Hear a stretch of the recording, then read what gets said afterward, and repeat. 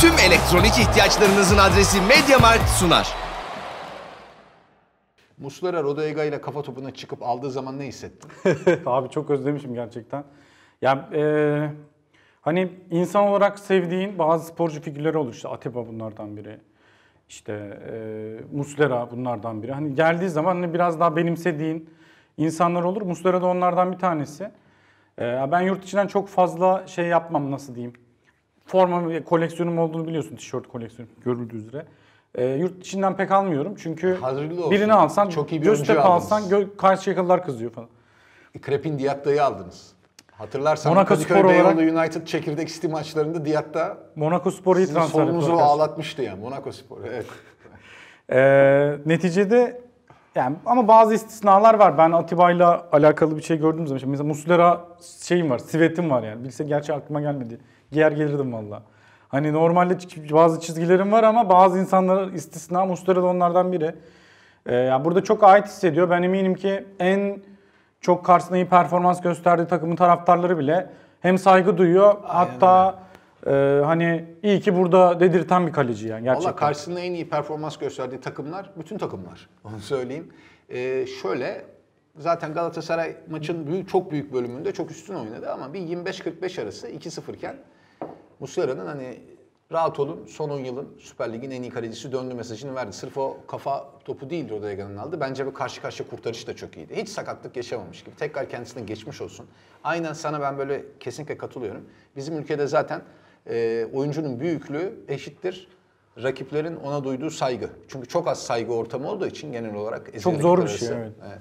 Yani eşik burada yani bizde. Evet. Hani bir şey arıyorlar. "Lan Ben bundan nasıl nefret edebilirim? Bakıyor bakıyor falan. Hani hakikaten hiçbir şey bulamaması lazım. Ergün Pembe falan. Böyle adamlar Mesela seviliyor yani. tribünde işte Beşiktaş Galatasaray amcamlar falan bütün Galatasaraylara küfür eder ama Ergün Pembe hariç derdi falan anladın mı? Şeyi Öyle bir hatırlıyorsa karakter biliyorum. Ergün de mesela. Ergün Pembe derbide Aa nasıl Fenerbahçe maçı bir de 2000'lerin başında derbiler çok daha sert geçerdi tribün bakımından yani. Evet. Her şey atılırdı sahaya, küfürler, kıyamet yani şimdiki gibi değil. Şimdi bayağı elit ortam sayılır. Amcamlar yaşlanınca biraz Abi- elit ortam oluştu değil mi?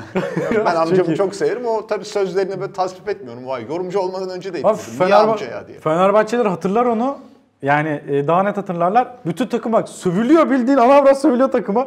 Ergün Öcak Evet, alkış evet. başlıyor falan. İnanılmaz bir şey yani. O, o eşik hakikaten zor bir eşik. Bence o işi aşmış insanlardan biri de Muslera o yüzden e, bir kere insan olarak sevindim. Oğuz Çetin de futbolculuğunda öyleydi mesela.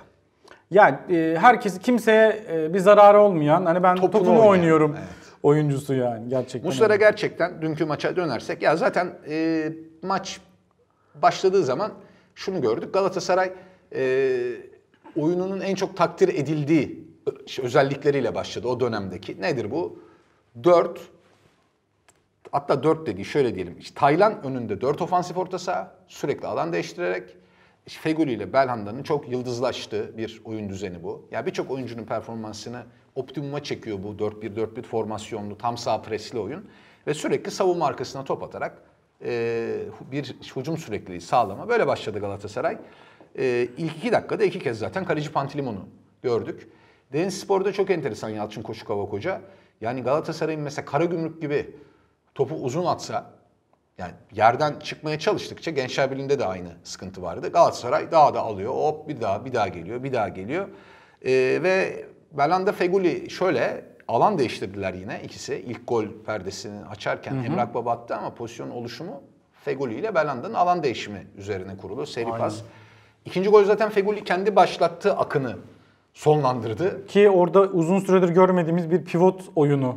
Babel'den. Aynen. Aa fast aa forvet böyle mi oluyormuş falan. Zaten Olcan oynayınca falan değişik bir şey fark ediyorsun. Babel oynayınca değişik bir şey fark ediyorsun. Çünkü gerçekten Falcao ve Cagne ya çok az şeyi, ya bazı konularda daha iyiler tabii ki diğerlerinden ama e, yani aa demek ki forvet bunları da yapabiliyor. Özellikle Cagney sırf kendi gol atmaya konsantre Göz- oluyor. Bir tek sezon başına bir tane var. Emre ona çıkardığı top zorunda. var. Oyuna sonradan girip çizginin oradan. Aynen.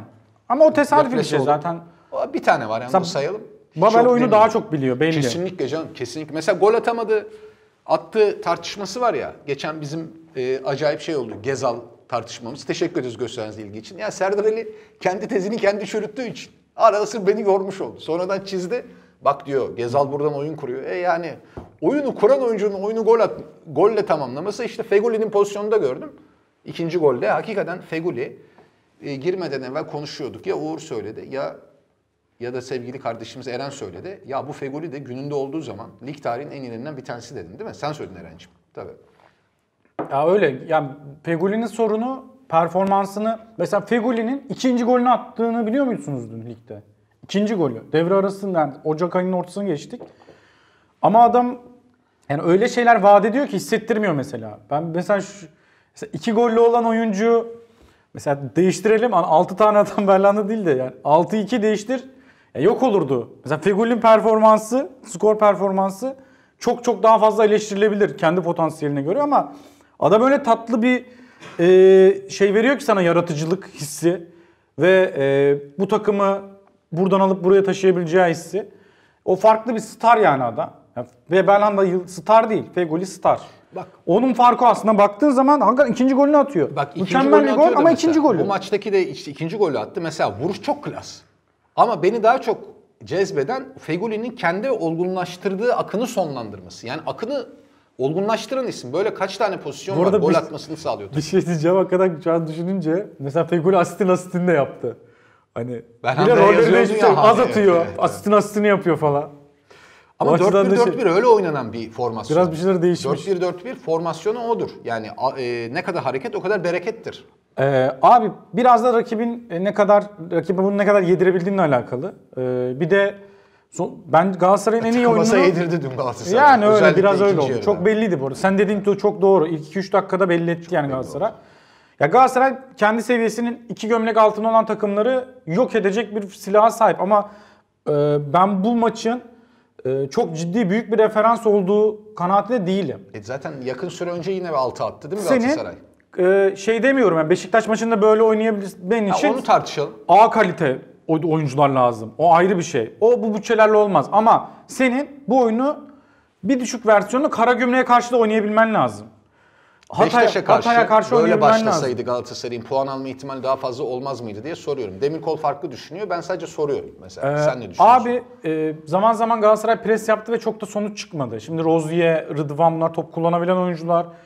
E, Montero da çok iyi bir maç çıkardı. Biz Montero'nun zaten e, Yani- top kullanımı gayet iyi. Yani presten- bu arada Beşiktaş Karagümrük maçı oynanmadı. Oradan alıp kesip falan boşa uğraşmayın. Evet. Şu E, ana kadar Beşiktaş bölümünün yani. maçı burada beraber izleyeceğiz Ali abi. Evet, Ondan İlk sonra kez beraber çekeceğiz. maç izleyeceğiz abi. Hakikaten izlemedik mi biz hiç? Evet, ben o yüzden çok mutluyum seninle maçı. Çünkü Serdali ile maç izlerken çok yoruldum. Bir de Serdali neyse bak Serdali yine düzgün. Batuhan Incal oldu mu ortamda? Hani böyle ortam fişfikçisi vardır ya. Ben bunun ben Aton'un bu yüzden maaş aldığını düşünüyorum. Yani programı ekstra yapıyor. Gelip burada e, trollük yaparak kazanıyor. Fişfikçi fişfikçi ya. Tam Uğur Sever'i de çok yoruyor. Eren'i de neyse. Bugün yok değil mi Batuhan? Oh rahat rahat maç izleyelim. Şöyle abi bence yani pres Beşiktaş'a karşı benim de fikrim Maç izledik kendi oyunuyla oyna. finalinin ilk yarısını izledik ama ben tabii eşimle oturdum. Aa, Sen doğru. arkadaşınla oturdun normal olarak. Doğru doğru. Evet, doğru. o kadar ama onu da bir şimdi sohbet ederek izleyeceğiz. Maç sonunu da çekeceğiz. Heyecanlıyım. Bu maça dönersek Bu part bitti ama voleyde daha konuşulacak çok şey var. Ayrıca abone olmayı, bildirimleri açmayı, like atmayı ve yorum yapmayı unutmayın. Tüm elektronik ihtiyaçlarınızın adresi MediaMarkt sundu.